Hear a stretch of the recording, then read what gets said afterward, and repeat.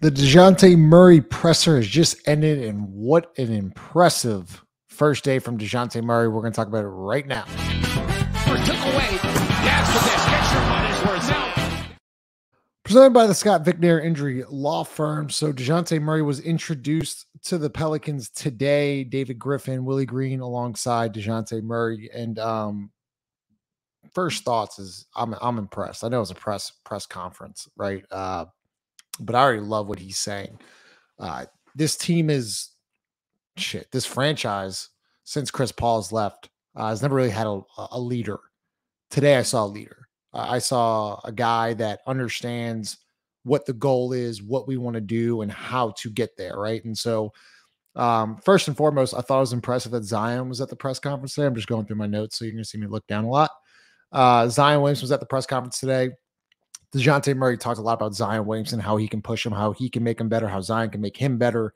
Um, and even talks about, you know, if I'm not working hard, well, then why will Zion Williamson work hard? And so I just love some of the leadership qualities that DeJounte showed today just in a press conference. Um, he, uh, so basically, Griffin leads off and talks about how Rich Paul came up to him at one of the circuits and said that you need to go get DeJounte Murray. And Griffin, you know, jokingly said, We tried to get him at the All Star break, or I'm sorry, at the trade deadline. And then, uh, you know, a couple weeks later, they uh, they land DeJounte Murray. So Griff's obviously really happy about getting DeJounte Murray. Um, but just a couple things uh, that DeJounte said. So uh, he he watched New Orleans play over the last couple years, says that they competed very hard. It's a brotherhood, said all the right things. Um, and then basically said this is an environment he wanted to be in. Um, you know, he displayed a lot of leadership qualities, I said before. He says he's the hardest worker in the building. He wants to compete. He he must have mentioned competing throughout the press conference 20 or 25 times. So you know going in, like this dude's going to compete. And if you're seeing DeJounte Murray going 110%, what do you think Trey Murphy's going to do? And what do you think Herb Jones is going to do? And what, what do you think Zion's going to do? You're going to be able to, to match his level of intensity. And he talks about there's no wasted days. Every practice is important. Every game's important. And it's something that this team's desperately missed for years. So I'm really excited about DeJounte Murray's leadership uh, qualities. You know, he talks about um, Zion, right? There's a question about Zion Williamson. His first response is, That's our superstar this is a guy that understands who the guy is. DeJounte knows that Zion's the guy. Um, and I think that was very important that he said that. He's not coming in thinking that this is his team. He knows this is Zion's team or whoever, maybe Brandon's team. I don't know. He, but he literally said, that's our superstar. So he knows that Zion Williamson's the guy. I'm really excited to watch these two work because he also mentions that he's excited to push Zion Williamson. We know what Zion Williamson is. We, we, we've seen like kind of like what he can be. We know how great he could be. He needs that extra push. And really, to be honest with you guys, like there was no really nobody really in the building pushing him to be the greatest that Zion can be. I think DeJounte Murray can do that. I personally think that DeJounte Murray can get Zion Williamson to superstar level basketball for, for a, a long period of time. We've seen it in spurts. We've seen it for a month. We've seen it for two months.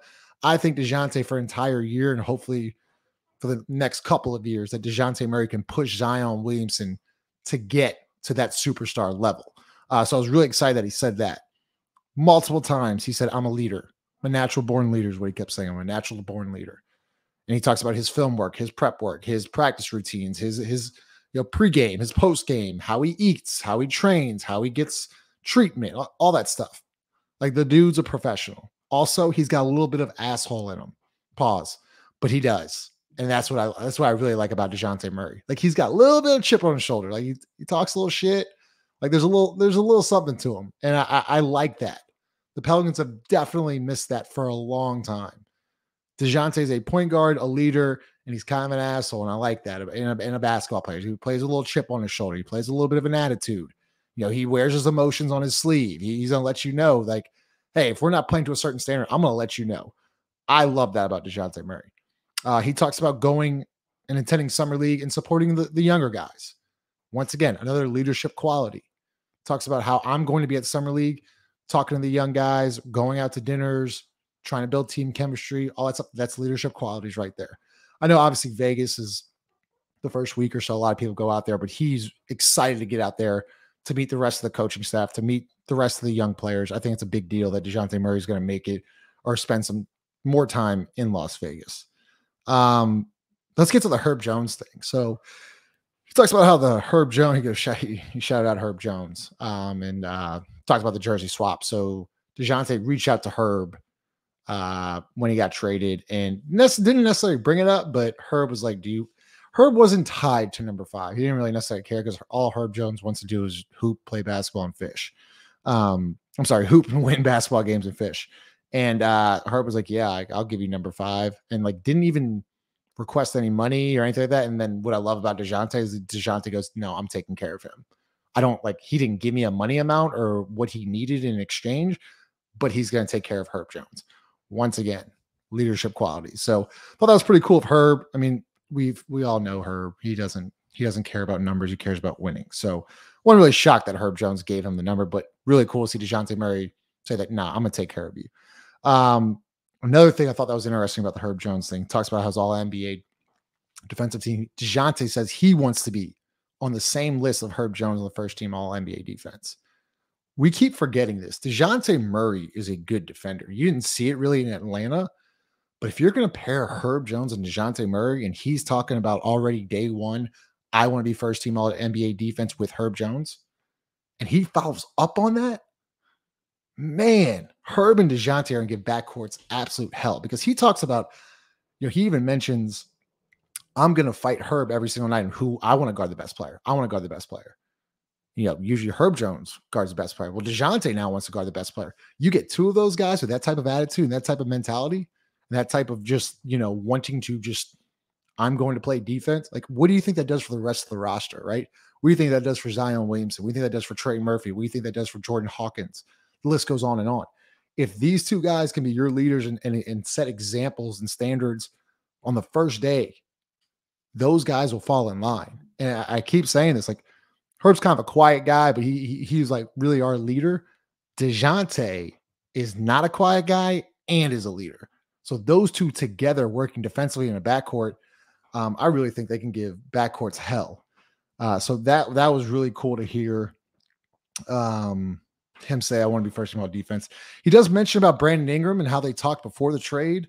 Um, you know, it was kind of like just light back and forth. Brandon was like, Are you getting traded? John's like, I don't know. And then like four hours later, he says he got traded. So uh, they have talked. I, they they go way back. So there's a relationship there.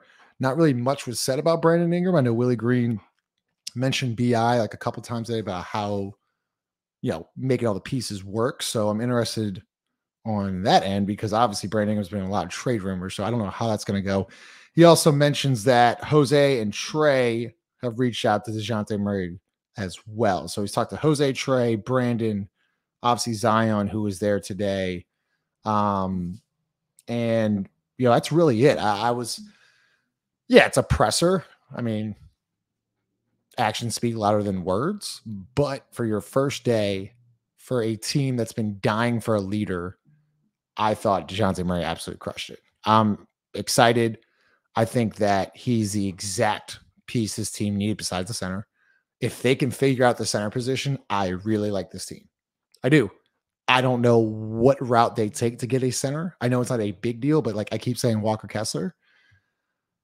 I just I, I find it hard, and we're going to talk about it more in the next couple days. But like, who's your starting five? Who goes to the bench? Because one of or two of Trey, Herb, and CJ are coming off the bench. Because DeJounte's a starter, Zion's a starter, and if Brandon's here, he's a starter. You have two spots to fill a center role, and then Herb, Trey, CJ. Like, I don't know what you're going to do there. So it's going to be quite interesting, man. Like, it's going to be a interesting offseason. All I know, though, is what DeJounte Murray did today is exactly what I wanted to hear, and he absolutely crushed it. So, welcome to DeJounte Murray to New Orleans. I'm excited to see what he can do with Zion Williamson. Last thing I actually do want to mention that uh, someone asked, I think it was Schmidt that asked the question, "What is a uh, what is a Zion um, DeJounte Murray pick and roll going to look like?" I think Willie Green was like, "It's going to be trouble."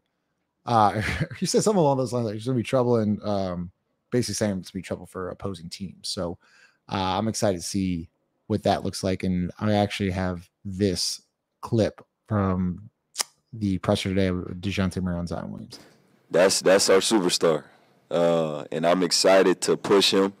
I told him I'm gonna push him, and this goes back before I was joining the team. You know, we exchanged numbers and had conversations, and it was never about oh, come to New Orleans or this or that. You know, he was somebody who reached out and he wanted to learn certain things, and you want that from somebody that's young that think you know they don't know everything and they're willing to be a sponge. That just shows who he is as a person and how much he wants it. And when I say that, how much he wants to win and be great as an individual, but also for his team.